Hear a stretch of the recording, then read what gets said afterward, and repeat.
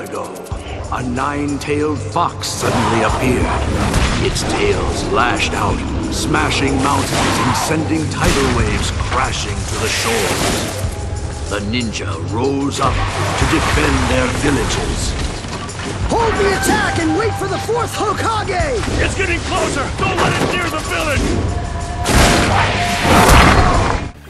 For all of the video games that have come out over the past few years based on the wildly popular Naruto manga and anime series, very few have ever really had the ambition to, to reach people outside of the established Naruto fan base.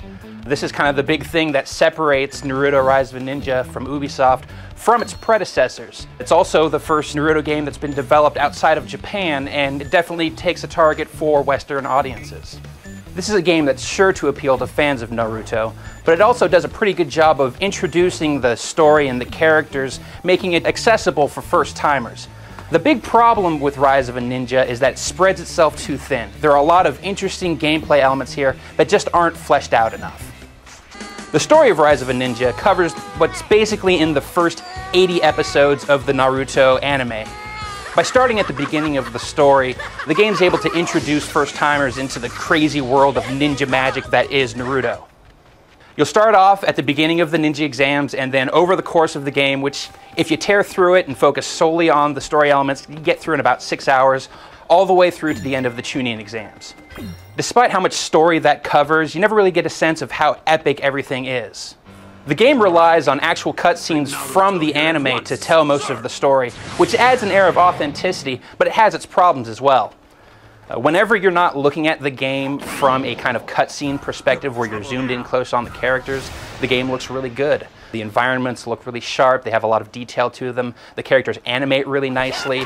Generally speaking, it's really good looking, except when you get up close and you see the characters' faces, which never really animate and which look kind of weird and pasted on. The emotive and dynamic qualities of the 2D animation uh, really put a spotlight on just how stiff the game looks up close in 3D.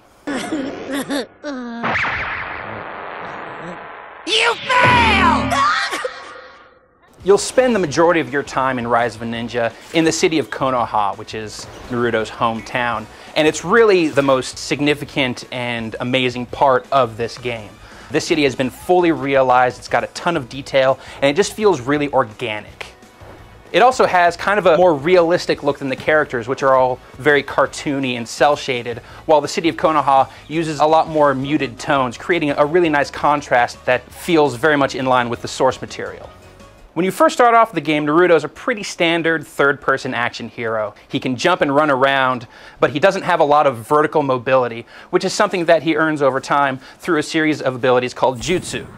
There are three main types of jutsu that Naruto will earn over the course of the game. There's Shadow Clone Jutsu, Sexy Jutsu, and Chakra Concentration. Now, Sexy Jutsu is not particularly useful, but Shadow Clone and the Chakra Concentration prove to be very, very valuable over the course of the game. Now you perform these jutsus by holding down the left trigger on the controller and then inputting a series of commands with both analog sticks. It never gets very complicated, but it does a pretty good job of kind of evoking the elaborate hand gestures that the characters do in the show.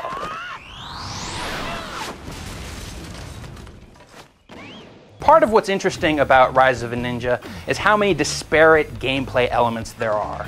When you're in Konoha, it's pretty much a third person action game where you'll explore the city trying to collect coins that are hidden in various areas while also taking on side missions.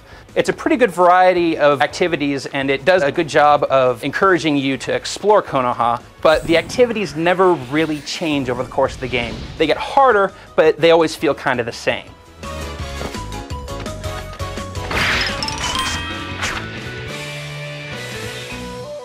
That smells good. Thanks, Naruto. I did it! Whenever you take on missions that uh, take you outside of the city walls of Konoha, the feel of the world changes a lot. As organic and natural as Konoha feels, the areas outlying it feel much more linear and kind of like platforming levels, which essentially they are. One of the interesting little twists when you get outside of Konoha uh, is that you'll occasionally have to travel to another location by jumping from branch to branch across trees.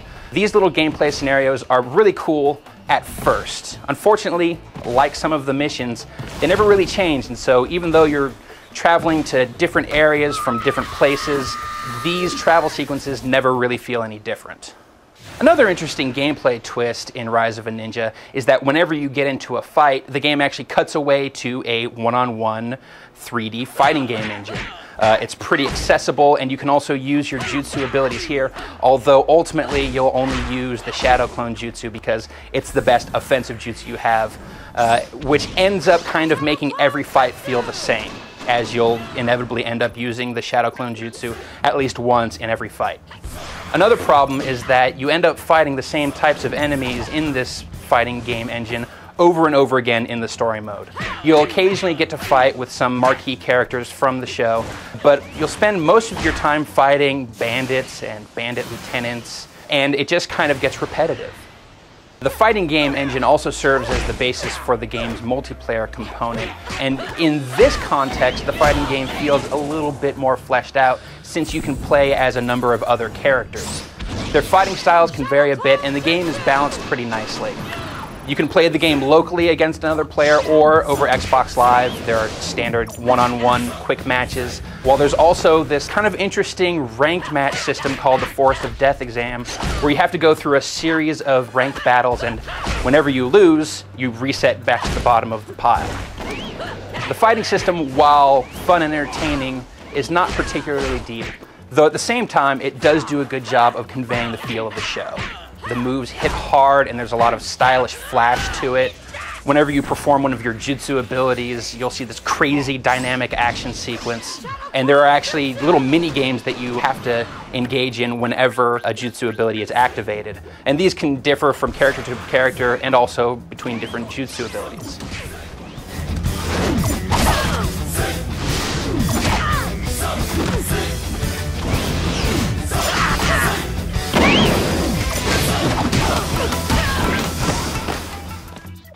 There's just a lot of really cool stuff in Naruto Rise of a Ninja, particularly the city of Konoha itself, which is again, really just cool to explore and, and, mess around in.